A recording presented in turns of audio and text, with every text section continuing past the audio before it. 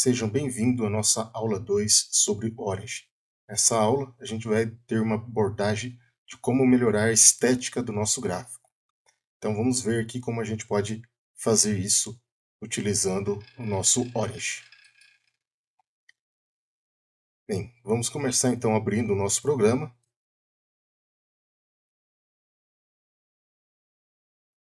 Vou maximizar aqui ele para a gente ter uma visualização melhor. Já nessa abertura, então, a gente já tem aqui a nossa tabela para inserir nossos dados. Hoje a gente vai trabalhar com alguns dados aqui que estão abaixo da minha imagem aqui. Vocês têm aí é, uma tabela de distância percorrida em função do tempo. Então a gente vai simular aqui um movimento de um carro, por exemplo, em função do tempo, onde a gente tem a distância, né, o espaço percorrido por esse carro e o tempo que ele levou para atingir aquela distância. Para isso, então, eu vou pegar aqui os meus dados e vou inserir na minha tabela. Então eu vou simplesmente copiar eles aqui, mas vocês podem digitar esse valor ali sem nenhum tipo de problema, tá? Então, se vocês forem ensaiar essa apresentação aqui, dá um pause e faça a inserção desses dados no Orange aí de vocês, para vocês acompanharem aqui essa aula. Feito isso, então, eu tenho aqui os dados que foram coletados, por exemplo, em um experimento ali que media a distância aí, em função do tempo para um, um carro aí se movimentando. De posse desses dados, então, agora a gente gostaria então de fazer um gráfico para fazer uma análise dessas informações. Bem, uma das coisas que a gente pode fazer antes de mais nada aqui para facilitar a nossa vida Nesse caso, ele não tem muita é, importância, porque a gente só tem duas colunas aqui na nossa tabela. Mas já é bom a gente ir se acostumando com esses recursos, porque eu posso ter várias colunas e aí eu posso ficar perdido nas informações. Então, o que, que vamos fazer? A primeira coisa é fazer é, a nomeação dessa tabela. Tá? Então, aqui eu tenho uma coluna AX e uma coluna BY. Eu vou nomear, então, essas colunas de acordo com as variáveis que eu tenho aqui na minha tabela. Tá? Se eu olhar então aqui os pontos que eu medi nesses dados abaixo da minha imagem aqui, a gente tem a primeira coluna é a coluna então de espaço, a segunda coluna é a coluna do tempo. Como que eu faço para modificar isso no Orange? Eu venho com o mouse, clico aqui em cima do A da minha coluna, ela vai selecionar a minha coluna inteira depois eu só dou dois cliques bem rápido sobre a coluna. Ele vai abrir essa pequena janelinha aqui. E nessa janelinha, a gente vai ver que ele vai ter aqui é, a função column name, ou seja, o nome da coluna. Eu posso vir aqui e colocar o nome para é, eu, que eu possa identificar mais fácil. Então, vou colocar aqui espaço, por exemplo.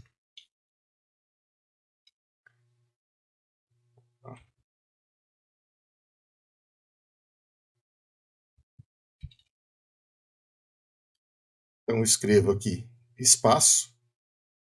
É, eu tenho outros controles aqui, a gente vai falar isso daqui à medida que a gente for avançando, tá? É, mas só para adiantar, aqui ele tem uma opção que chama Plot Designation. Essa informação aqui, quando eu clico nela, eu posso definir é, o que, que, vai ser essa coluna, se ela vai ser X, Y ou Z. Tá? Nesse caso aqui eu vou deixar ela como, como X mesmo, só para fins didáticos dessa nossa aula, mas eu poderia mudar é, se eu quisesse. Então, completado todo esse preenchimento aqui, eu vou vir aqui e dar um OK. E vou fazer a mesma coisa aqui na minha coluna B. Seleciono ela, dou dois cliques, aparece aqui no nome coluna B. Eu vou colocar então tempo nessa dessa vez. E o tempo está definido como x. Pronto.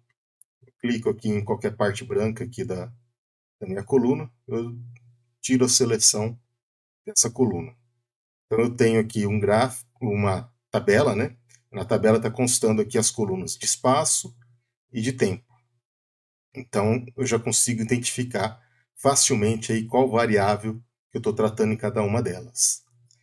Para fazer o gráfico, a gente viu no, na aula anterior ali, seria bem, bem simples. Bastaria então eu selecionar uma das colunas, tá? E clicar, por exemplo, aqui nesses ícones de construção de gráfico rapidamente, e ele construiria o gráfico para mim.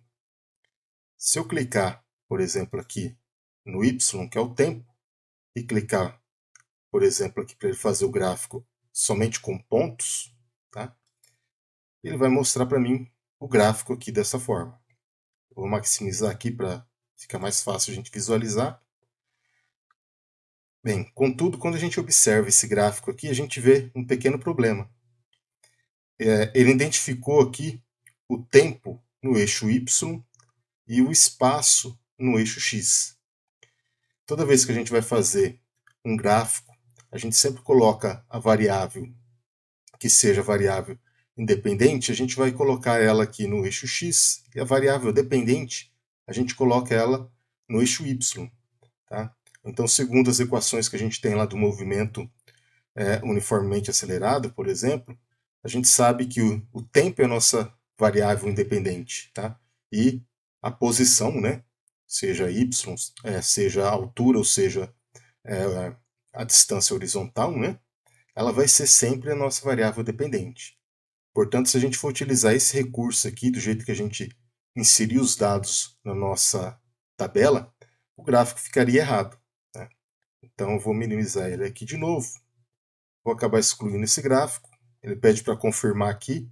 Tá? Se eu quero só minimizar, ou quero deletar ou cancelar essa operação. Nesse caso, eu quero deletar. Eu deleto ele. Tá? Bem, então a gente vê que dessa forma aqui eu não vou conseguir fazer o gráfico corretamente. Tá? Então eu, eu vou utilizar o recurso então daqui da, dos menus. Eu vou vir aqui no menu, vou clicar em Plot.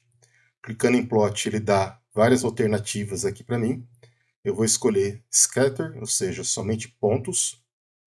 Clico aqui, ele abre uma outra janela. E nessa janela aqui, eu posso configurar qual variável que vai estar no eixo X e qual que vai estar no eixo Y. A gente até é, falou disso um pouco na aula anterior.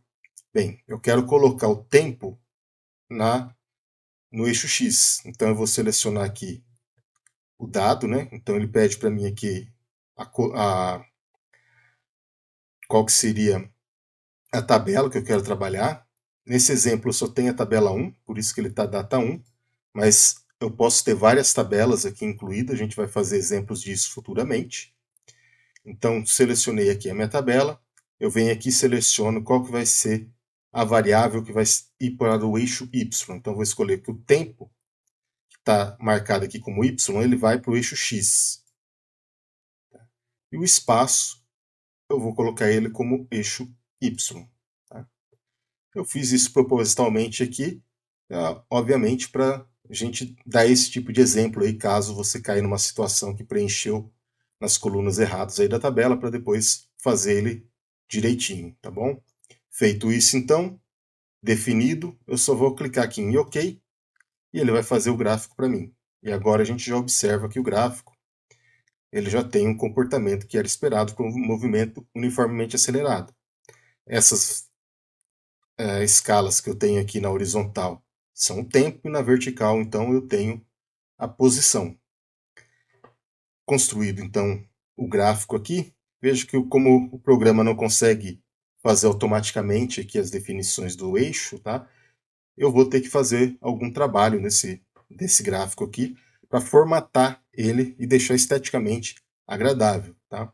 Eu costumo é, brincar então que esse é o processo então de perfumaria do gráfico, é onde então eu vou fazer algumas alterações aqui para ele ficar mais agradável visualmente e é claro eu colocar as informações referentes aqui ao eixo. Simplesmente ficar x e y eu não consigo identificar facilmente só olhando o gráfico, saber do que se trata esse gráfico aqui. Bem, então a primeira coisa que é, agora eu, eu vou observar é o seguinte.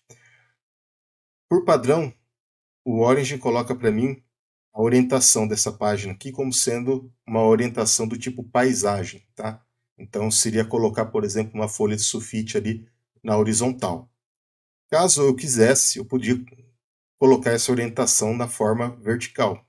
Para fazer isso, então, eu poderia vir aqui em Edit e ele tem a opção aqui Rotate Page. Aqui eu mudo, então, qual que é a orientação da página. Então, se eu clicasse aqui, ó, ele colocaria a página para mim aqui em formato vertical, né?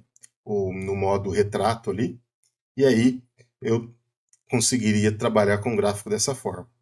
Veja que esse formato aqui, é, esteticamente, ele não é muito agradável para a gente.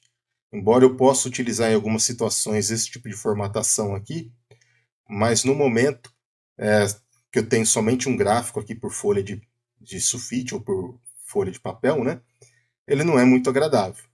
Então vamos voltar ele aqui e deixar no padrão que é mesmo, que seria o formato aqui de paisagem. A gente vê que ele fica, visualmente, ele fica bem mais agradável aqui. Bem, é, definido então isso daí, agora a gente vai começar a ajustar a, as escalas do gráfico, que é bastante importante. Embora o gráfico aqui ele tenha colocado a distribuição dos pontos de uma forma até aceitável aqui ao longo do papel, tá? Ou ao longo da, da apresentação aqui do gráfico, ele não é ainda o ideal, tá? Você pode ver aqui que ele começou aqui bem distante do primeiro ponto, tá? Ele começou aqui do 1, o 0 aqui, eu poderia trazer esse 0 para cá, então a gente vai ajustar agora essa escala aqui de tal maneira que eu consiga distribuir esses pontos aqui o melhor possível, ocupando a maior parte da área é, do gráfico. É, por padrão aí, esteticamente, a gente costuma distribuir os pontos dentro da área que a gente tem disponível para construir o gráfico. Esses pontos têm que ocupar, no mínimo, 70% dessa área. Tá? Aqui, obviamente, ele está mais, mas a gente pode melhorar ainda mais isso. Tá? Então, para mudar as escalas aqui do gráfico, eu tenho um processo bem simples. Eu vou vir justamente aqui na escala, ou seja, na linha que define aqui a escala, e vou dar dois cliques nela. Quando eu dou dois cliques nela, ele abre essa janela. Veja que ele vai mostrar aqui para a gente é, o eixo X, tá? Esse layer 1 aqui que se referencia a, a um layout, tá? Eu posso ter no mesmo gráfico vários layouts, o que significaria eu ter vários gráficos no mesmo papel, tá? Mas isso aqui não, não vem ao caso agora, a gente trata isso em, em aulas futuras. E agora, então, aqui eu tenho como ajustar as escalas. Eu tenho aqui a primeira parte, from, tá?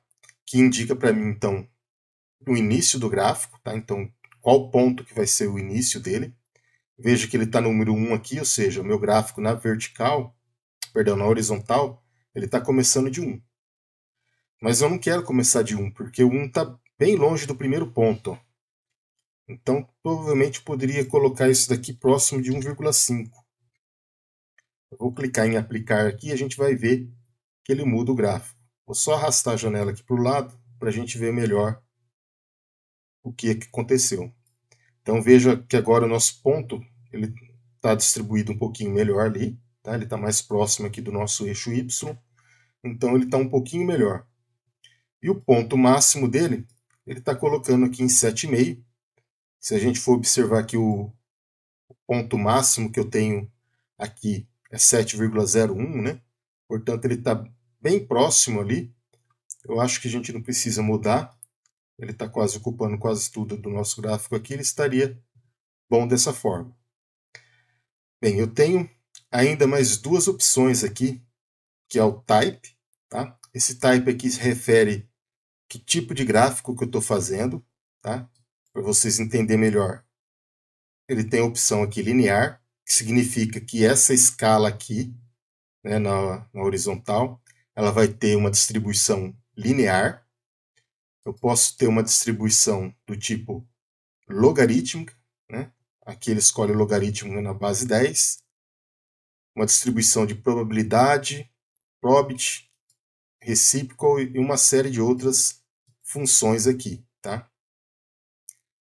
Basicamente, o que a gente vai utilizar mais é a função do tipo linear.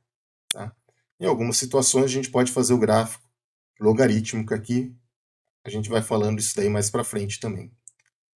E o tipo de escala. Ele tem a escala normal, que é o que a gente está utilizando.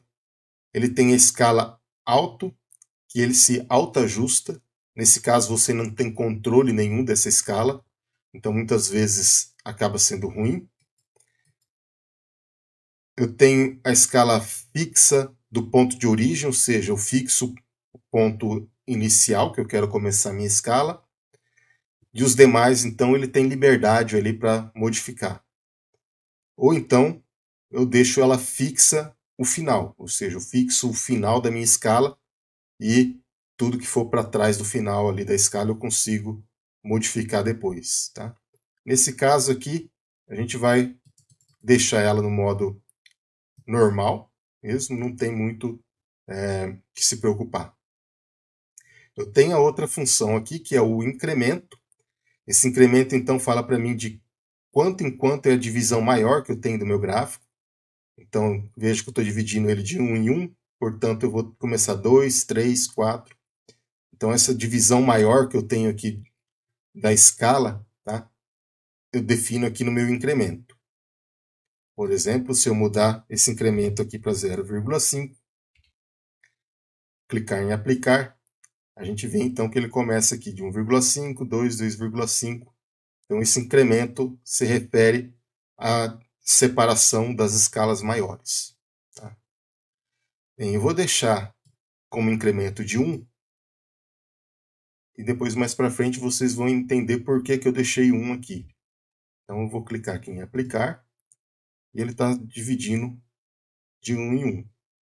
No entanto, essa divisão de 1 em 1 aqui, ela fica um pouco ruim. Eu vejo que eu tenho entre o 2 e o 3, eu só divido ele na metade aqui. E esses outros intervalos aqui, ó, ele não tem subdivisão, ou seja, fica ruim para eu poder entender ali qual que é a subdivisão melhor. Para melhorar isso, eu tenho isso aqui, ó, Minor Tickers, que é indicativo para mim de quantas divisões eu vou fazer entre as escalas maiores, ou seja, entre 2 e 3, quantas divisões eu vou fazer entre ele. Veja que ele está com uma divisão, portanto, ele vai pegar aqui na metade entre 2 e 3. Se eu colocar aqui, por exemplo, 3 e clicar em aplicar, vamos ver aqui que de, entre 2 e 3, tá? ele dividiu mais três partes aqui. No entanto, a gente vai ver que essas escalas aqui elas vão ficar um pouquinho ruins para leitura. Né? Por exemplo, 2 aqui no meio então seria 2,5, aí tudo bem. Mas entre 2,5 e 2 eu teria 2,25, é, 2,75 aqui. Ou seja, ela ficaria muito fracionada. Então, provavelmente essa divisão de 3 aqui não é algo aí muito agradável para a gente utilizar que, que eu posso fazer? Eu vou tentar, então, colocar aqui quatro divisões entre 2 e 3, porque aí eu posso ter uma fração é, inteira ali. Ó. Então, quando eu clicar aqui em aplicar, eu tenho quatro subdivisões aqui, então significa que eu vou ter 2, 2,2, 2,4, 2,6, 2,8 e 3. Eu acabo tendo então números inteiros ali tá? na, na segunda fração, né? um décimo. E ainda por cima eu acabo tendo uma precisão um pouquinho maior aqui agora, porque eu tenho mais subdivisões nessa escala horizontal. Então, basicamente, aqui na escala horizontal, a gente acabou fazendo todas as configurações que eram necessárias. Agora resta a gente fazer a mesma coisa aqui na linha é, vertical eu posso dar dois cliques nela, dar OK aqui depois dar dois cliques nela, ou estando aqui nesse eixo mesmo, eu venho e clico aqui ó, em vertical. Automaticamente ele muda aqui para mim no gráfico para é, YX, ou seja, eixo Y, tá? e ainda também no layer 1. E aí, novamente, eu vou fazer todas as variações aqui. A origem do eixo Y. Bem, a gente vê que o nosso ponto aqui, ó, ele está em zero, mas ele está começando de negativo, menos 0,5. Eu posso começar ele de zero, eu vou ter uma subdivisão boa. Tá? E ele vai até 9 aqui. O ponto máximo que a gente tem é, no eixo Y é 8.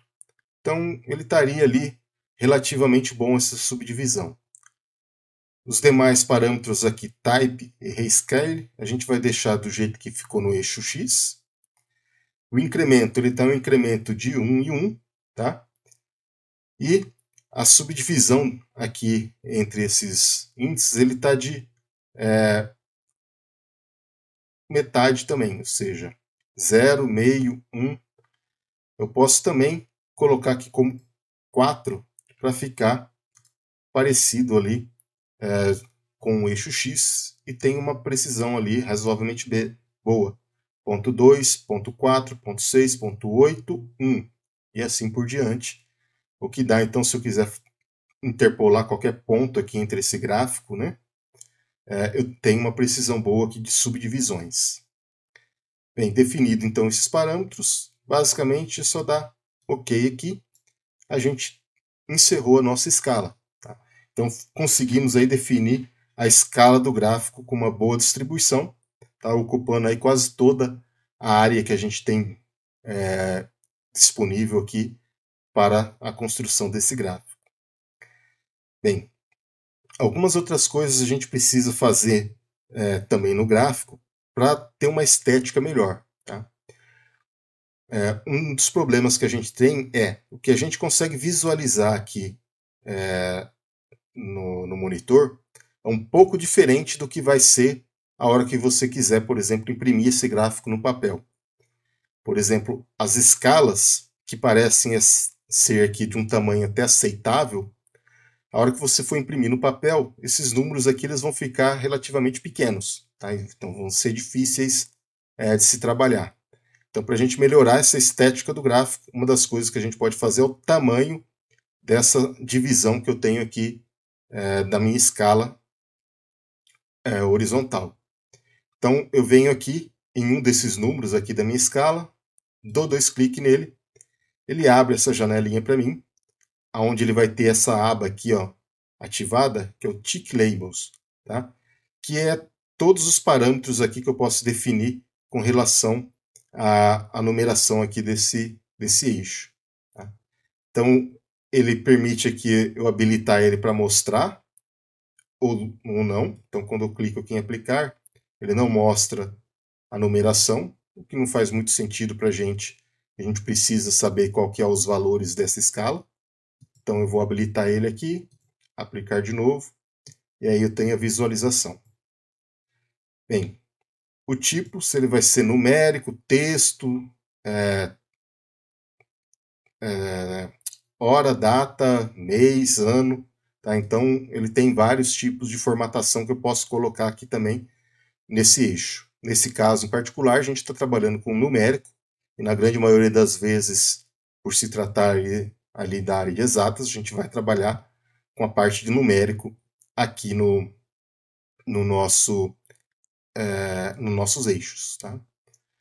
Bem, depois eu posso escolher também a fonte. Então, se eu clicar aqui, eu tenho diversas fontes que eu posso trabalhar. Eu costumo trabalhar sempre com a default dele, que é Arial, tá? que geralmente é o padrão de fonte utilizado até mesmo para redação de texto científico.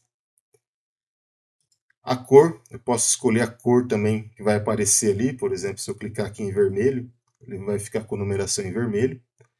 Eu aconselho sempre a deixar ele aqui tá? automático ou, sempre preto, né? Porque é, é, o, é o melhor, tá? É, quanto menos a gente ficar com o gráfico aí coloridinho ou chamativo, melhor é, porque o foco do nosso gráfico são os pontos e não você ficar chamando atenção ali para detalhes é, frívolos aí do nosso gráfico. E depois eu tenho aqui em point, que ele define para mim qual que vai ser o tamanho da fonte que eu vou utilizar aqui ao longo desse eixo. Tá? É, geralmente eu aconselho a gente trabalhar, isso vai depender de gráfico para gráfico, tá? Mas eu aconselho vocês trabalharem ali com no mínimo 24 e no máximo 36, tá? São tamanhos relativamente bons aí para trabalhar. Nesse caso em particular aqui, que eu tenho números bem afastados um dos outros, tá?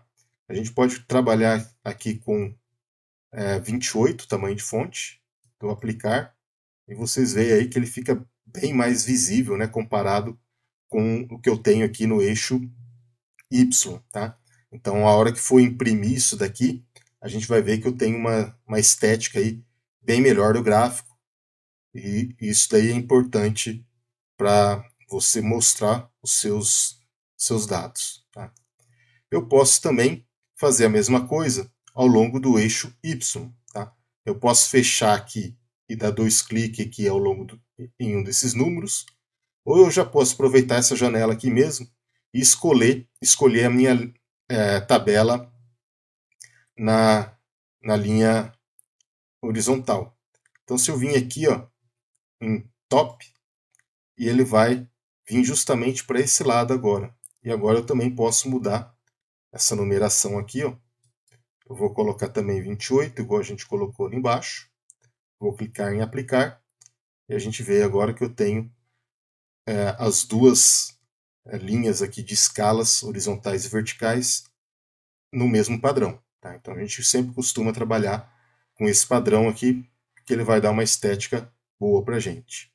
Feito isso, é só dar um OK e a gente terminou de trabalhar aqui é, nesse gráfico. Bem, mas ainda falta é, algumas coisas aqui no gráfico. Ele ainda está aqui, ó, eixo X e eixo Y. A gente precisa então escrever o, os eixos, o nome do, do eixo aqui corretamente, né? Para a gente saber do que se trata essa variável que está aqui na horizontal.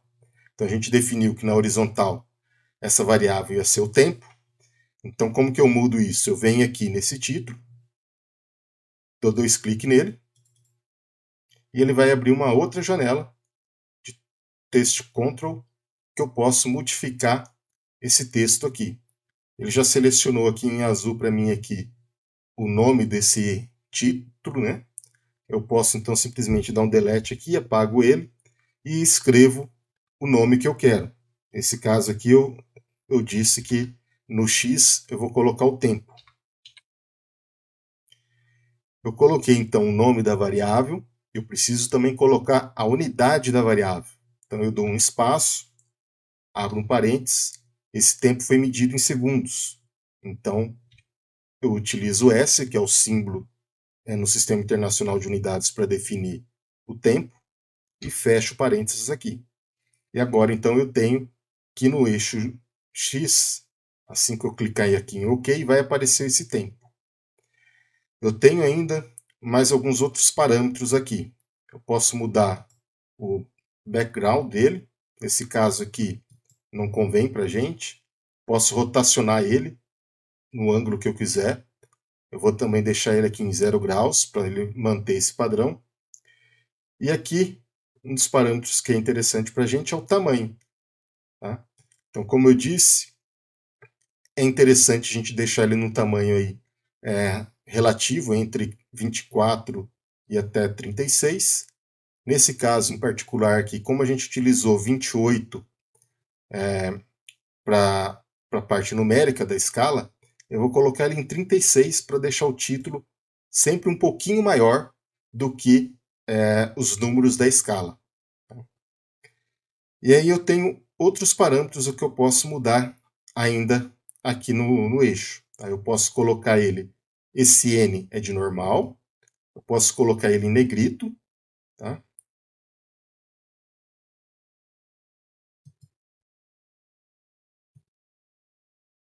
Opa. Cliquei coisa errada aqui. Para deixar ele em negrito, eu tenho que selecionar todo o texto. E daí eu venho aqui e clico nesse B. Seria bold em inglês, mas é negrito. E ele vai colocar essa notação aqui automaticamente para a gente. Então, essa notação significa que o texto que tiver entre esses parênteses aqui vai estar tá tudo em negrito. Ou então eu posso mudar ele para itálico também, combinar ele ou posso colocar ele sublinhado. Ou eu volto aqui e deixo ele normal, eu tiro toda essa formatação. Ainda por cima, eu posso colocar ele subscrito, tá? Ele vai ficar ali como se fosse elevado a alguma coisa. Ou eu posso colocar ele aqui ainda como subscrito, como se ele fosse um índice de alguma coisa.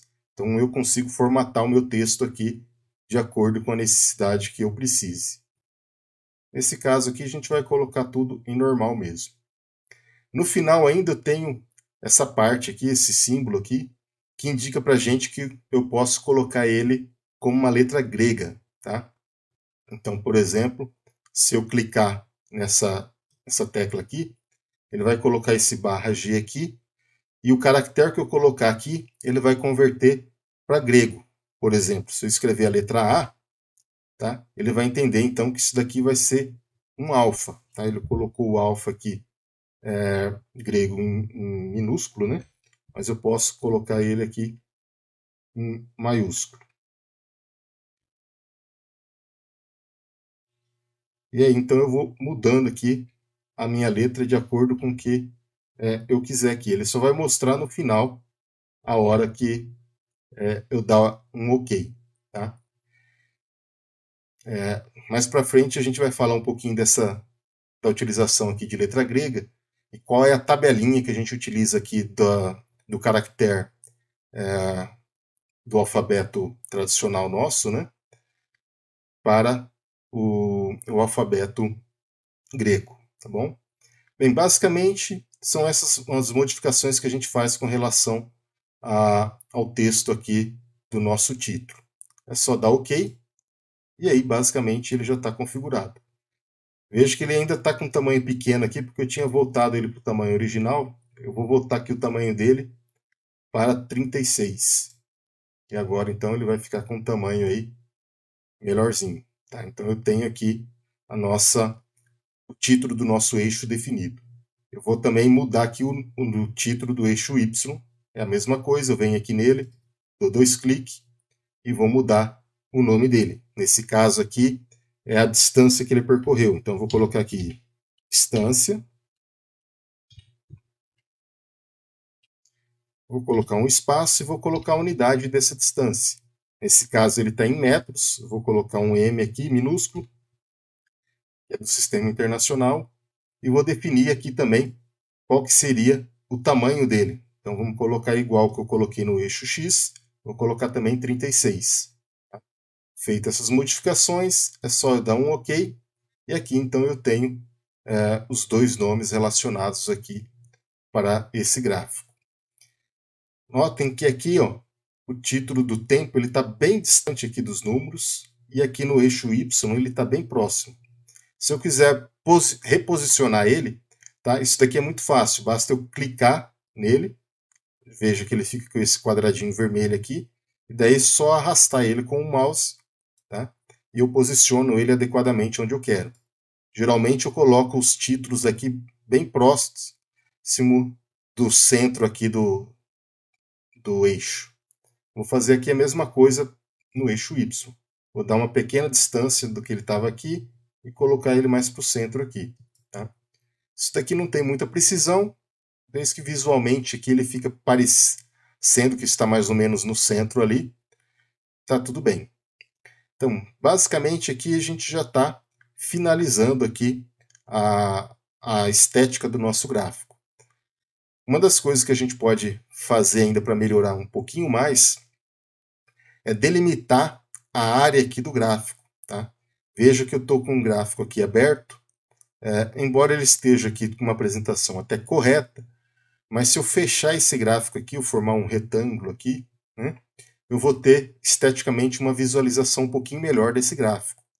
Como que eu faço isso? Eu posso vir aqui, ó, nesse eixo, por exemplo, Y, dar dois cliques nele. Novamente ele vai abrir aqui essa janelinha para a gente para editar é, o eixo. Vejo que eu tenho uma série de abas aqui. Uma das abas que a gente vai trabalhar agora é justamente essa grid line. Eu vou clicar nela e eu venho para cá.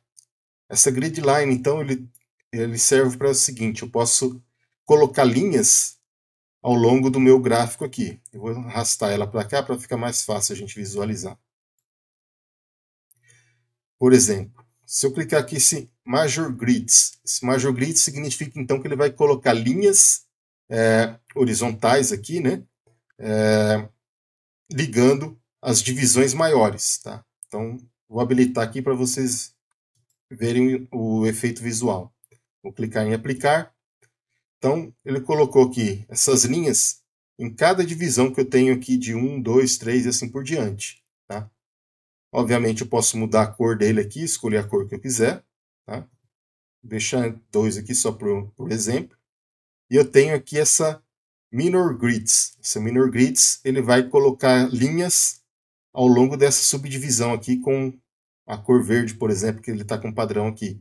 Então, eu clico aqui, clico em aplicar, e ele coloca aqui essas linhas. Eu posso definir tanto a cor como o tipo de linha. Se eu quero ponto, é, traços, traços e pontos e assim por diante. Tá? Geralmente, eu não costumo utilizar essas marcações aqui, porque elas poluem muito visualmente o nosso gráfico. Veja que ela fica bem complicado aqui para a gente poder entender é, os pontos e a distribuição. Tá? Então, geralmente, eu deixo elas desabilitadas. Tá? Quando a gente vai construir aí no papel milimetrado, no papel milimetrado não tem jeito, a gente precisa até da, da subdivisão ali do papel milimetrado para ficar fácil de visualizar. Como aqui a gente está utilizando o recurso no computador, não faz muito sentido, até porque eu tenho as linhas aqui das escalas que vão me ajudar a fazer essa subdivisão se eu precisar. Mas um das, dos recursos que eu posso utilizar aqui nesse grid lines é justamente colocar uma linha oposta à minha linha aqui na, na vertical, tá? Do eixo Y, para que eu possa trabalhar um pouquinho melhor com ela. Tá? Então, por exemplo, eu venho aqui, clico em Opposite, clico em aplicar, e vocês vão ver então que eu criei agora uma linha aqui desse lado direito. Então eu estou fechando o meu gráfico. Essa linha aqui ela pode conter também uma escala, mas nesse caso aqui ela não tem muita função para a gente, então a gente só vai deixar essa linha aqui por questão estética mesmo para fechar o gráfico. Eu posso também vir aqui ó, na minha vertical, clico aqui, clico também em Opposite, do aplicar e ele então fecha o gráfico para a gente. Clico em OK e eu tenho então agora bem delimitado aqui qual que é a área relativa ao meu gráfico. Tá? Então esteticamente agora eu tenho uma apresentação bem melhor, eu tenho é, cercado aqui para mim qual que é a área que eu vou ter que trabalhar dentro desse gráfico aqui. Bem, ele ainda tem aqui a legenda para gente. Como eu só tenho é, pontos relativos a um, a um, tipo de comportamento, aqui um, uma única medida, por exemplo, não tem muito sentido deixar essa, essa legenda aqui do gráfico, tá? Eu posso então apagar ela. Posso, poderia deixar, né, posicionar, dar dois cliques nela aqui e colocar um nome. Veja que ele colocou um nome automático aqui para gente, mas se eu quisesse colocar um outro nome qualquer aqui, ó, eu viria aqui onde que está esse número 1 entre parênteses, apagaria ele, escreveria qualquer coisa aqui, daria um OK. Opa. Apago esse, aqui até esse porcento, né? Tudo que eu for escrever aqui ao longo desse porcento, ele vai entender como sendo o texto que eu quero. E ok aqui ele mudaria para mim esse texto. Como eu disse, como a gente só tem uma linha aqui, não tem sentido colocar legenda, porque basta a gente olhar aqui o, os eixos, a gente sabe do que se trata. Então, nesse caso em particular, eu vou selecionar ele, clicar Delete no teclado e ele apaga. Bem, eu ainda tenho outras coisas que eu posso mexer aqui nesse gráfico. Dependendo da, do gráfico, ele pode ser útil para a gente ou não. Tá? É justamente com relação a esses pontos aqui. Ó. Então eu posso mudar o tipo de ponto. mudar o tamanho desses pontos aqui do meu gráfico, fazendo o seguinte, eu venho em, um, em algum desses pontos, qualquer um deles, posiciono meu mouse e dou dois cliques com o botão esquerdo e ele vai abrir aqui para gente essa janelinha. Essa janelinha então permite a gente fazer uma formatação desses tipos de ponto. Veja que ele tem duas abas, a aba símbolo e a drop lines. A gente vai trabalhar hoje aqui nessa aba símbolo. Nessa aba símbolo eu tenho aqui o preview. Aqui eu posso escolher o tipo de ponto. Automaticamente ele coloquei, colocou aqui para a gente quadrado. Mas se clicar aqui, ele abre uma série de outros pontos. Por exemplo, eu vou escolher essa estrelinha aqui, ó. Vou dar aplicar. Vou tirar aqui para a gente visualizar um pouquinho melhor. E aqui então a gente vê que o gráfico ele substituiu aquele quadradinho por estrelinhas. Tá? Então eu posso modificar aqui de acordo com o que eu quiser. Eu tenho aqui também aqui o tamanho size, tá? que é o tamanho, que eu posso mudar o tamanho desse, desses pontos. Então eu clico aqui, ele dá uma série de, de opções para mim. Por exemplo, vou colocar ele um pouquinho maior, vou colocar aqui 12. Coloco aplicar. E aí então ele colocou um formato um pouquinho maior aqui para gente. Tá? Eu vou clicar aqui nele, vou selecionar aqui essas bolinhas fechadas. Tá? Vou dar aplicar. E vejo que agora, dependendo do tipo de símbolo, tá? É, formatação dele, o tamanho dele altera, tá? Viu que aqui em bolinha ele ficou grande demais, tá? Então o que eu vou fazer? Vou voltar aqui em size e vou voltar aqui para 8, vou diminuir o tamanho dele. Vou clicar em aplicar para ver como ficou. Aí já ficou um tamanho mais aceitável aqui para essa condição de ponto, né, de formato de ponto que eu escolhi. Eu tenho aqui Edge Thickness, ele vai definir mais ou menos também aqui padrão, né, que eu vou é, separar esses pontos. Geralmente a gente deixa em default. E eu tenho também Symbol Color, tá? Então ele está aqui em automático, mas eu posso clicar aqui, Individual Colors, e eu posso escolher a cor que eu quiser. Por exemplo, se eu quiser colocar ele aqui em verde, dou aplicar e ele fica em verde. Vejo que não é uma cor muito agradável. Eu sempre aconselho a construir um gráfico, trabalhar com um gráfico em preto e branco. Tá? Em algumas situações, você pode até colocar cor aqui no gráfico, principalmente se você tiver dois gráficos aqui na, na mesma área de trabalho, né? E aí então ficaria mais fácil para separar um gráfico do outro. Mas você também pode recorrer ao recurso de utilizar pontos diferentes para cada gráfico. E isso é interessante.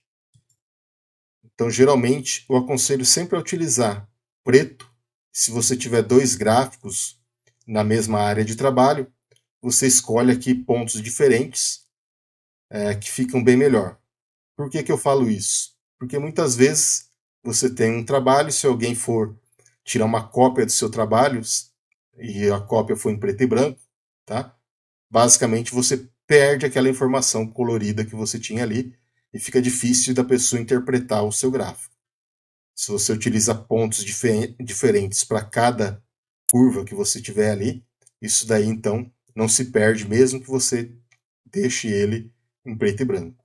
Então vou clicar aqui em aplicar e as informações estão ali contidas. Eu dou OK e basicamente eu posso dizer que eu tenho meu gráfico aqui pronto com uma formatação estética bem útil para ah, que eu possa aplicar ele é, em, em, um relatório ou, ou, algum artigo científico. É, no entanto, a gente pode ainda pensar é, em outras formas aqui de modificar esse, gráfico. Por exemplo, a gente fez o gráfico aqui, como eram dados experimentais, a gente colocou o gráfico, construiu o gráfico somente com pontos. Vamos supor que depois que eu fiz o gráfico somente com pontos, eu quisesse transformar esse gráfico, por exemplo, em linha. Tá? Bem, eu posso dar de novo dois cliques aqui nesse gráfico. Ele vai abrir de novo novamente essa janelinha que a gente estava trabalhando até agora de pouco. E quando eu olho aqui embaixo, eu tenho plot type, ou seja, tipo é, de gráfico que eu vou fazer. E aqui nessa aba eu posso escolher. A primeira opção seria linha, ou seja, ele só vai fazer a linha. A segunda, scatter, que é o que a gente está tá utilizando, pontos, ou line mais símbolos, ou linha mais os símbolos que a gente já está utilizando. Então vou escolher aqui, ó, linha mais símbolos, coloco ele aqui, vou colocar em aplicar, tirar aqui para a gente visualizar melhor, e veja então que agora ele colocou uma linha ligando esses pontos aqui. Tá? Geralmente quando você tem poucos pontos, como a gente colocou aqui, a gente tem relativamente poucos pontos, quando a gente coloca a linha junto com um ponto, a gente vai observar que as linhas aqui elas vão basicamente formar uma escadinha, tá? Elas, a ligação aqui é sempre linha reta. Esteticamente, isso daí não, não é agradável, porque um comportamento geralmente usual é, de um fenômeno físico, tá? Ele não tem um comportamento aqui de segmentos, né, como, como escadinha, tá? Na maioria das vezes eu tenho um comportamento aqui contínuo, tá? Para a gente melhorar essa formatação ali, eu posso melhorar isso daqui na função agora que modificou aqui, ó. Eu tô na aba Symbol, que era o que a gente estava trabalhando anteriormente, mas ele abriu aqui uma aba Line aqui para mim, para trabalhar com a linha. Eu posso clicar aqui em linha, e agora então ele dá uma série de opções para mim. Ele dá as opções de conexão, que eu tenho várias delas aqui. Eu vou falar um pouquinho de algumas delas, né? Eu tenho a style, tá?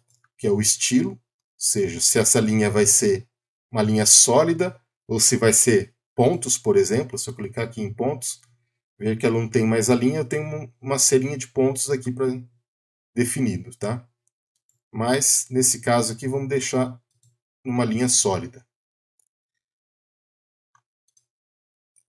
Eu tenho a largura dessa linha, tá?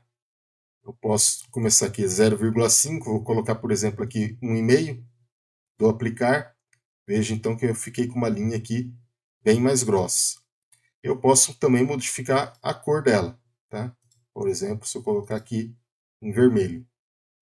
É, geralmente, como eu disse, eu sempre gosto de trabalhar tudo preto e branco, porque acaba sendo um padrão ali e eu quero dar destaque aos pontos e não deixar um carnaval aí no nosso gráfico. Bem, mas ainda eu tenho aqui essa, essa ligação aqui, formando escadinha aqui com, com as linhas, tá? Eu posso dar uma melhorada esteticamente nisso, fazer com que isso daqui se pareça mais com uma curva realmente, do que com esse segmento aqui de, de retas, tá? Então eu tenho aqui algumas opções para fazer isso primeira opção dela é essa opção aqui, BS Line, tá? que ele introduz uma, uma curva suave entre um ponto e outro. Então, quando eu defino ele aqui, ó, eu dou aplicar, ele dá uma pequena suavizada ali, ligando cada um deles. Mas a gente vê que ainda não tem um formato aqui bonitinho de uma curva. Eu tenho essa SP-Line aqui, que ele passa é, fora dos pontos, né? ele passa uma linha mais ou menos geral aqui, acaba que também esteticamente ele não fica muito bom, porque ele, próximo dos pontos aqui, ó, ele fragmenta. Tá? Então, quando eu tenho muito, poucos pontos, né, isso daí acaba não sendo muito interessante. E uma das que eu gosto bastante é essa Belze aqui, que ele passa uma suavidade também da, da curva aqui, mas não necessariamente passando por dentro do ponto. Isso faz então que ele passe uma linha média aqui, é uma curva média entre esses pontos, dando uma melhorada estética aí bem melhor. Vejo que agora, é, principalmente nesses pontos que eu tenho uma fragmentação aqui da continuidade, ele melhora um pouquinho mais. E se eu clicar então OK aqui, eu defino os meus pontos. Tá? Então, basicamente, aqui eu teria construído aqui né, o nosso gráfico. É, eu tenho que fazer algumas ressalvas para vocês, é que, por padrão, toda vez que a gente faz um gráfico ele tem dados experimentais, tá? eu vou fazer esse gráfico simplesmente com pontos. Tá? Mas aqui eu coloquei pontos e linha. Essa linha, então, que eu defini aqui, tá? é, é uma linha simplesmente que ela serve para a gente analisar o comportamento, ou seja, uma guia por nossos olhos para ver a tendência dessa curva em relação a esses pontos. Tá? Então, quando a gente utiliza esse recurso que a gente definiu aqui, tá? é quase que obrigatório você colocar ali é, na legenda, por exemplo, do seu gráfico, a hora que você for escrever seu relatório, ou quando estiver escrevendo seu artigo científico, que essa linha aqui que você definiu é uma linha que serve para guia dos olhos, tá? Para você não, não confundir essa linha com é, uma curva teórica, por exemplo, que você ajustou é, a esses pontos, tá? Mais para frente a gente vai falar de ajuste dos gráficos, daí vocês vão entender o, o porquê que eu estou falando que é importante ter essa diferenciação aí de guia dos olhos, esse tipo de, de linha aqui, do que você deixar só os pontos, tá? Nesse caso, então, eu vou até retirar essas linhas aqui, por enquanto. Então, eu volto aqui e vou voltar somente pontos. Vou dar OK eu tiro essa linha. Tá? Então esse daqui seria o padrão do gráfico que a gente vai construir quando a gente faz medidas é, experimentais. Tá? Os dados que a gente construiu o gráfico são baseados com medidas experimentais. Tudo bem? Bem, então eu acho que isso daqui é o suficiente para a gente definir a formatação desse gráfico. Mas agora, obviamente, a gente fez tudo isso no, no nosso Origin, a gente quer então salvar esses dados aí para utilizar ele posteriormente. Então, uma forma que a gente tem de salvar é o seguinte: nesse menuzinho aqui de cima, nessa, eu tenho essa opção aqui um, um pequeno disco, tá? Se eu clicar nele aqui, ele vai habilitar para a gente salvar esse projeto. Ou eu posso vir aqui em File, salvar projeto ou salvar como, né? Então eu vou clicar aqui em salvar ele abre uma janela para a gente. É, por padrão, ele sempre vai salvar na pasta aqui do, do Orange, tá? Se você não quiser, é só você procurar aqui uma pasta específica para salvar ele. Aqui, como por exemplo, eu vou salvar aqui na minha área de trabalho. Clico aqui na minha área de trabalho e aqui no nome é só dar um nome para esse gráfico. Então vou chamar ele aqui de gráfico 1. Ele já dá a extensão para gente que a gente pode salvar. Ele tem dois formatos que ele pode salvar para gente, que é esse OPJ e ORG. Geralmente eu deixo no formato padrão, que é OPJ, que é o padrão do Orange. Tá? Eu posso adicionar aqui algum comentário no gráfico, mas se eu não quiser também não é obrigatório. Feito isso, então, é só clicar em salvar e ele salvou aqui o nosso gráfico. Aqui em cima, então, já ele vai aparecer para a gente aqui é, aonde eu salvei, né? Então está aqui no meu desktop e o nome do arquivo que é gráfico 1. Tá? Feito isso, então, a gente já tem o nosso gráfico prontinho. Tá? Então, basicamente, para essa aula aqui seria é, isso que eu gostaria de trazer aqui para vocês. Tá?